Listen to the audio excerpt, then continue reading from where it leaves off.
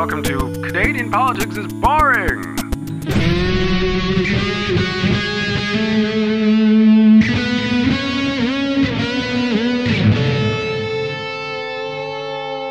Shall I do the intro? Shall I do the Yeah, intro? do but do this one like do this one like uh, a game show host. Hello, everyone, and welcome to Canadian Politics is Boring, the show where Jesse has to get things right or he gets dropped into a large tank of gunk. um, does that sound? Is that, That was- like a game show? That was that was pretty good. I think you could do a little better. Try like I don't want. I don't want to. pretend pretend you just did like uh you know a line of sugar and a and a shot of caffeine. I'm Did you say a I'm line using- of sugar because your mother listens to this and you don't want her to know that you know cocaine exists? Shush! I don't know what that word means. Try it again. Okay. More loud, more exciting, more Um, exuberant. I don't want to. My kids are asleep upstairs. I'd Oh, rather okay, not. Fine. Well, do the opposite. just- do do like a super depressed intro. That is, they, they usually are. There's a normal one. Anyway, should we just get on with the show? Let's just get on with the fucking. Sh- let's do it. What do you got for us today, Rhys? What's going on? oh, you're gonna love this. This one is. Um, Am I okay? And I'm being ironic. is, is horrible. Um, so, have you ever heard of Canada's race tax? No. I guess that snort was because it just sounds so horrible. it is. So, to be more specific, it was the Chinese head tax. Did you ever know that that thing existed? I, I, no. What does that even? So, Essentially, Essentially- like headhunters. Like So if you were Chinese, if you wanted to come to Canada from China, it meant that you had to pay uh, a fee to to enter the country. Whereas if you were from Europe, you paid you either paid no fee or a much smaller fee. And it was the idea was they were trying to limit the amount of people moving from China to Canada um, just to maintain European immigration. wow. And I, I can go to the detail if you'd like. Sure. Why not? That's It was that's um, depressing. Yeah. So Give me but we do details, An old, yeah, an old friend of the show does appear in this episode. So um, I want you to give I want you to give a loud cheer when you hear his name. So um, so through the mid to late 19th century, 17,000 laborers were brought from China to do construction on the Canadian Pacific Railway right. and they were only paid a third or less than half um, the wage of their co-workers of European descent. So Yeah, about a dollar horrible. a day. A lot of them are And- also tasked with uh, bringing in nitroglycerin into the uh, the mountains when they're trying to build tunnels for the the railway through, which was again horrible. Yeah. It's um Lovely topics for a comedic podcast. Keep going. as one, you know, is um yeah. Yeah. Anyway, so Chinese yeah. Chinese immigration um was seen as a problem by the British Columbian gov- uh, provincial government and they wanted to prevent uh, Chinese immigration in 1878. However, this was struck down by the federal government. So, um, friend of the show, Prime Minister John A. Macdonald, I'm saying that ironically, Yay. Boo. Um, uh, he acknowledged the necessity of Chinese labor to build the, the railways. So he struck down this ban to stop them from um, uh, from from banning Chinese people. So Oh wow. uh, he said either you must have this labor or you can't have the railway. And obviously, it was very important at the time to have the railway. Um, and he uh, he essentially kind of defended the right for people to to come in. But do, do you think he's a hero in this story? I this guessing not. So I'm, I'm going to say no is the is the final answer. So Alex he, he demanded he demanded Chinese immigration was maintained in order to keep building the railroads. But what do you think he did once they'd finished building them? No, he didn't ship them back. Well, they, they didn't ship them back, but they stopped more of them coming. so they um, they they restricted it. So the federal government in 1885 passed the Chinese Immigration Act, which um, stipulated that all the Chinese entering Canada had to pay a fifty dollar fee, uh, which was referred to as the head tax. Wow, that's So a lot back then. Yeah. So, um, bearing in mind the average Chinese laborer earned three hundred dollars a year, just like my a God. large chunk of their. So it meant that really limited the amount of people, and even if you lived a frugal life, apparently you could only save forty three dollars a year um, if you were really extra specially careful with your money. Um, Jesus. so basically, it kind of it, the idea was to just stop people from coming in without without banning them. It just made it uh, very hard for people to get into the country. And this was amended in 1887, 1892, and 1901. And the fee was eventually increased to $500 in 1903, which is the equivalent of two years' salary, or you could at least you could buy two houses with that kind of money in those days. Wow. Oh Um, my god. So the Canadian government, people still wanted to come here. So um, the Canadian Why? government, you know, it's like just, it was such a warm welcome, you know. so the Canadian government had collected about twenty three million dollars, or three hundred and thirty three million dollars in kind of the equivalent money of today. Oh my um, god. From eighty one thousand uh, Chinese people who who moved uh, to Canada, but also not only did they have to pay that fee, they were then denied the right to vote. They were denied the right to practice law or medicine or to hold public office, to seek employment on public works, to own land. Um, and they faced daily prejudice and discrimination when they did arrive. I can see why 81,000 people would flock here. Jesus. I know, well, exactly. It's like a land of milk and honey. Right? So, um, and in, tw- in in in 1921, they then changed the rules. So if you left Canada for more than two years, um, you would have to pay the tax when you came back as well. oh my god. So what it, it had a really weird effect on Chinese immigration. So what you find is because you had to pay that money, families didn't come to Canada. Men would come on their own and send the money back to their families because it was obviously so expensive to, to come over. Right. So you ended up with this bachelor society. So the ratio of Chinese men to women in Canada was 28 to 1, oh wow. Oh my god. uh, which is like obviously an insane gender imbalance. But um, despite anti Chinese immigration laws and rampant discrimination and everything else that I've just mentioned, um, the Chinese population in Canada increased from 4,383 to 39,587 between 1881 and 1921. it makes you wonder what like why were why were they were they escaping? I think I think it was like if I think a lot of it was was poverty. Um, so if you didn't have anything to lose, like you, you know, you can you can always assume that it's going to be better if there's if there's work there. Then even if it's work under such horrible circumstances, it's still work. I suppose. God, this is going to be another one of these depressing episodes, isn't it? So, Yeah. um, so yeah, I mean, it was pretty pretty racist. Yeah, Um, I think I You think know how much I love talking about racism. I know. It's um it's a um it always seems to come up in conversation.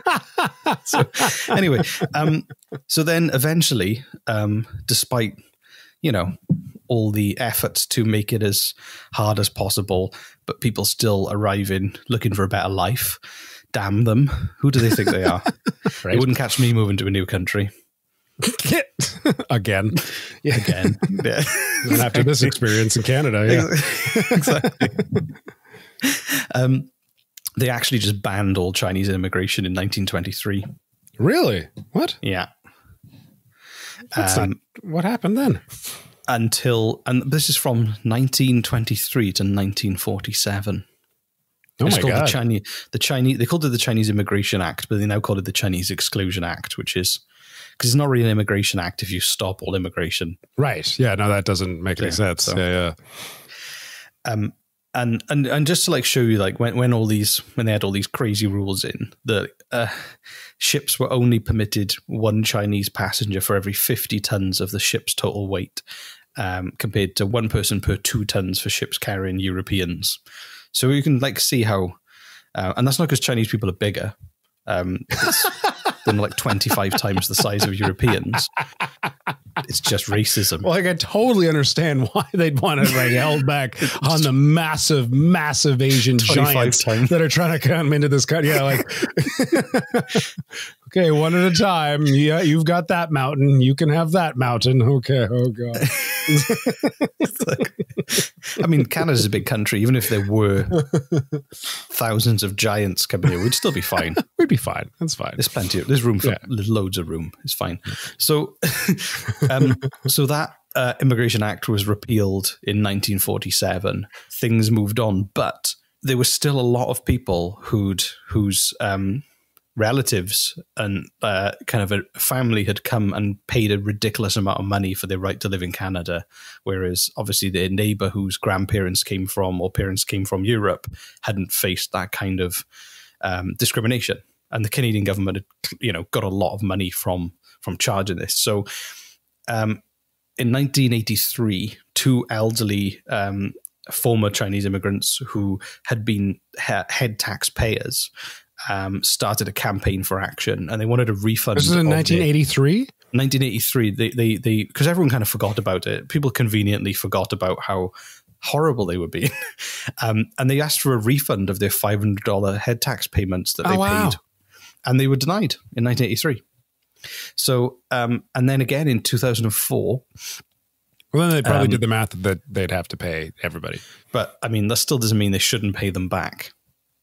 No, they they should pay them back. I just don't think they were feasible, like feasibly able to pay them back. Again, yeah, with inflation, it's like okay, we owe you probably be like tens of thousands, maybe. I guess the United Nations uh, they they said they recommended that Canada did redress the head tax in 2016. Everyone's favorite prime minister, Stephen Harper, is he your favorite? Oh God, that's I get chills up my spine when that Stevie Hops. Just, I think that was Stevie the name Hops. of his band. Stevie Hops and the Marionettes. Steve, Stephen and the Harpers. Yeah, that's. I know. I know you've mentioned him as your favorite prime minister. So a horrifying man. Another friend of the show, Steve. Yeah. Another ironic friend of the show. Um, so he actually, they he apologized to head taxpayers and their families, the first prime minister to do so, um, and the Chinese Canadian community. And he pledged symbolic payments to live in head taxpayers and live in spouses of deceased payers. Um, and a commitment was made to establish funds to help finance community projects aimed at acknowledging the impact of past wartime measures and immigration restrictions on the Chinese com Canadian community and other uh, ethno-cultural communities, which doesn't sound like something he'd ever say, but he did. I don't believe he did say that. That's a lot that's a lot of words, and the man did not speak English very well. So I'm going to say that I think someone wrote it down, and he he he kind of mouthed the words like he just kind of yeah. I mean, the real question you got to ask yourself is: that's what he said, but what do you think happened? Ooh, do you know? Do you have so secret underground information? I, I remember I said like something like tens and tens of thousands of people, people have moved in. Can you guess how many received money back? I'm going to say none. Or three, uh, just to put a weird number than, there. Fewer than 50. Oh, wow. Um, uh, received payments of $20,000 from the federal government. Um, and many descendants are still uh, also chasing for the money, um, but they were excluded um, from the settlements uh, that were set up in 2006. So, wow, 50 people got some money back that was comparable to what they had to pay to come to the country. Um, and um, yeah, so that's the story of the Chinese head tax. And you Stephen do find Harper the most saving the day. Just chocolate raisins, butter pecan pie, a warm breeze on a sunny day. Mid podcast special announcements. These are all of our favorite things, and I'm sure you'll agree. Hey, here comes one now. You do find, I mean, it's educational for our comedy podcast. That's very funny. I kind of think it, I think it's an important story though, because of like, course it's important. This I mean, a comedy show, Rhys. There's all kinds of important things we could be talking about. Tons. There's a never-ending supply of important right, things. What, what would you like? What would you like me to do?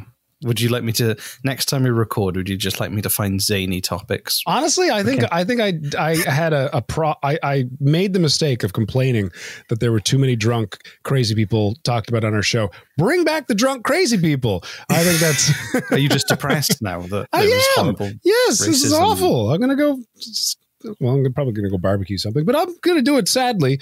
That's there's going to be tears on my steak. Are you saying you don't like you don't like to be um, educated about racism?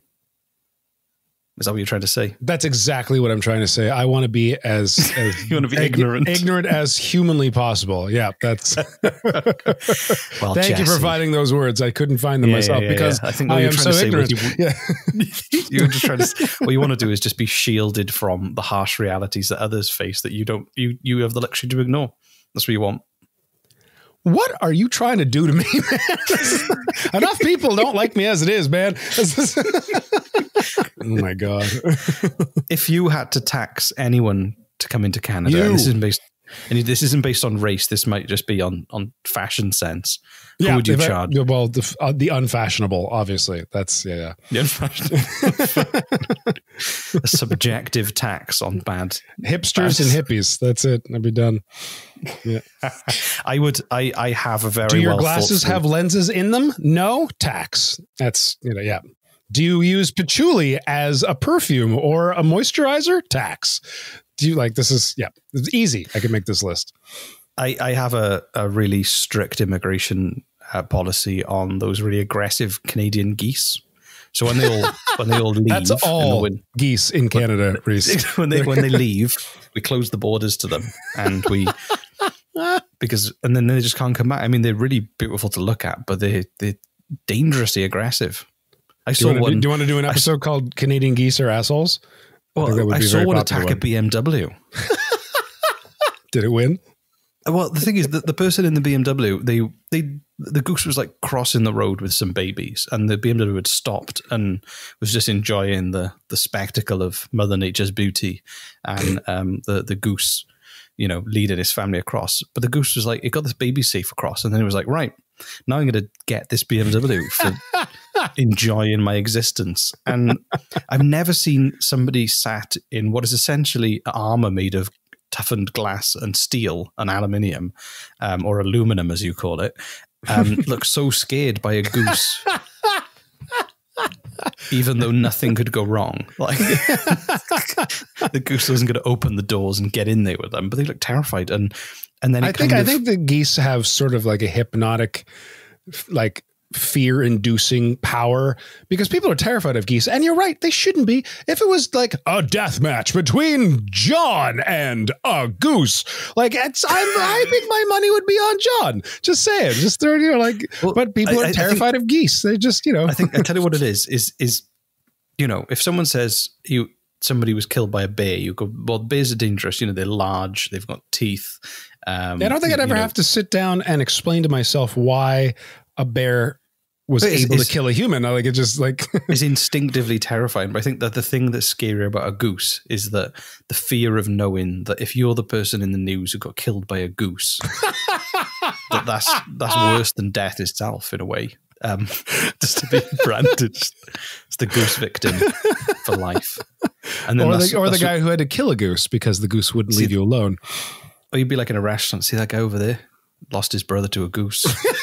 That's how you've always been known.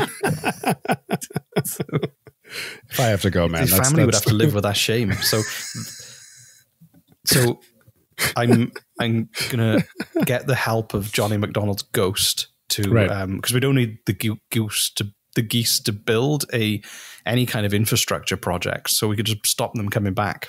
just a net, a net over Just Canada. a net, just Yeah. a a net through the whole sky. Yeah, So- it's easy. exactly. So I think that's a sensible immigration policy. Um, we'll tax the geese, take tax that money, geese. wait for the geese to leave, then with that money, build the net. yeah, or Yeah, just ta- tax them to leave in a way that they can't afford to, and then they freeze in the winter.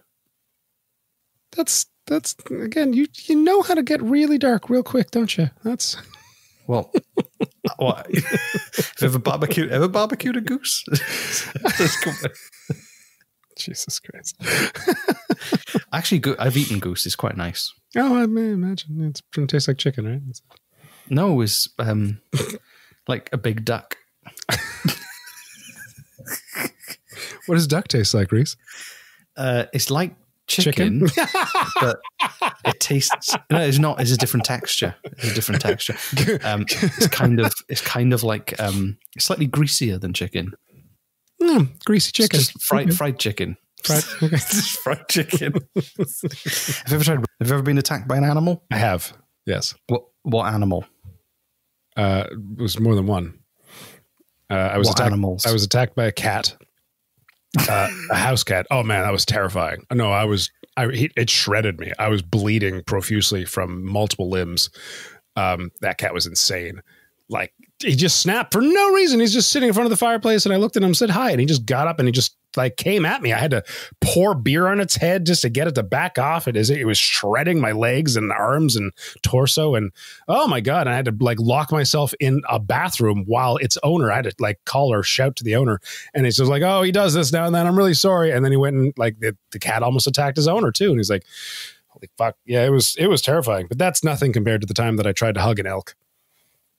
Okay. Uh, what happened then? Oh, that's that's for a different story. That's a different. That's a different. No, that's story for that's for altogether. now. that's a you different tried to hug an elk. So yeah, me and my me and my friend Ryan were in uh, Banff and Alberta, and uh, he was he was going through a rough time. This is the very truncated version. I, I told this this this long story, but uh, he was going through a rough time, so I was trying to cheer him up. And there's elk everywhere in Banff, by the way. So you thought you'd cheer your friend up by hugging a large wild animal? Yes. So uh, elk were everywhere, but they typically they stay like on the outskirts ish of the city. But they're enough in the city that you can see them. But the, Yeah. the also, people- they, they're famous for being emotionally distant, uh, distant, and not enjoying physical contact too. anyway, we we just went to some mines, some sulfur mines, which were stinky, and we're coming back. And in the parking lot, there's this little rise on a hill by some a little woods clearing, and there's they're not that far away. The two elk just grazing, and Ryan's like, "That elk needs a hug." I'm like, "That's a great idea," and I start marching towards it up the hill, and Ryan's laughing. He's like, oh, "Okay, that's enough." It's like, "No, it needs a hug. It needs a hug." It's like, "No, Jesse, really, come on. We're not supposed to." hug the elk elk. Come back. No it needs a hug. And i come up on top of the landing and i stretch my arms wide open and i start like heading towards the elk and the elk looks at me. He stops eating. They both look at me. And this is uh the buck. And it just it puts its head down with its antlers and it charges at me. And i am just instant terrified. I'm like oh my god like fight or flight just kicks in. And i turn around and bolt like a bat out of hell down the embankment and I'm like I'm running so fast that my my legs are moving so quickly that the ground can't keep up with it, sort of thing, if that makes sense. And and I get to the parking run so lot. fast, you start traveling back in time. Is that what Yes, you're trying to say? exactly. And I get to the parking lot, and I, this thought goes through my head: is like I can't outrun a fucking elk, so I'm going to have to fight it. I can't. I can't keep running. It'll win. It'll. It'll catch me. So I have to turn around and punch it in the face. So as I reach the parking lot and this this like terrified heart beating a miles mile a minute, uh, and and I have this thought like I'm gonna have to. I'm gonna have to. I'm gonna have to punch an elk in the face. I I spin around on my heels and I put up my dukes, and the elk hadn't moved. Apparently, what it did was it put its head down and then trotted forward like three steps, like thump, thump, thump, to sort of like fake. But that was enough to convince me that it was full on charging me all the way down the hill. And so it didn't actually, I didn't, I didn't end up punching an elk in the face. But I did go have, I did go have an elk burger immediately afterwards uh, to get revenge. Yeah, yeah. Yeah. But did did did it make your friend happy? Very 'Cause I- I happy, gotta- actually. Yes. I got I got to be honest. Um, if I feel down and you say, "I know what you need," let's go to a sulfur mine. Um, you might not be the person I call for help. but um, I'd happily watch you battle wild animals. also, I do like the fact you had to have an elk burger just to remind yourself that humans are superior to uh, quadrupeds. Exactly. Uh, Let me do let me do another intro for the show now. Hold on, real quick. Welcome to Canadian Politics is Boring. Today's episode is about wild Canadian geese attacking BMWs, Jesse hugging an elk, and rampant racism throughout Canada. Thanks for listening. Well, I enjoyed the elk story, um, and I wish that um, I wish that that was. I guess this was probably back in the 1940s. You didn't have phones to film it on. I am very We all know old. That's true. Very yeah. old. Jesse's Yeah, very, very Jesse's, Jesse's so old that um, a lot of the stuff we talk about historically, um, he was there. so he just forgot. Because I'm Party so old. too yeah. hard. Party too. He just forgot it all. Is snorting too much sugar. Yeah. that's- well, we all know that you know Pablo Escobar was smuggling a lot of sugar into into the United States. Pixie dust, he called it. Yeah. Yeah, exactly. It's delicious. This has been a fun episode. It's been in some something. It's been It's something. been- yeah. This has been this has been an episode. It has been an episode. Yes. I, I think we can all agree it's it has been, an episode. Thank you so Um, much and if- for. Oh, you say it. I want you to say it. Say it. Say it. Um, thank you so much for sticking us in your ear holes, Oh, yay. I got him to say it. Ah. Slowly, we're wiggling the tip of the earbuds around the. Earbuds, earbuds, and gear holes. That's weird. That's a weird way to say ear. Say it. Is that how you say? Is that a Welshman say year? Earbuds. This is It's- it's called an 2020. accent. What's that called? State of mind. It's A, a- it's a, a year. a year. And what's the what's the thing on the side of my head that I hear from? A year. They're both the exact same word. Is what Yeah. you're saying? Yeah. Yeah. Okay. That's that. Yeah. Okay, Why yep. wouldn't they be? Right. That's. that's I don't that's know. where, it, That's- where it comes from.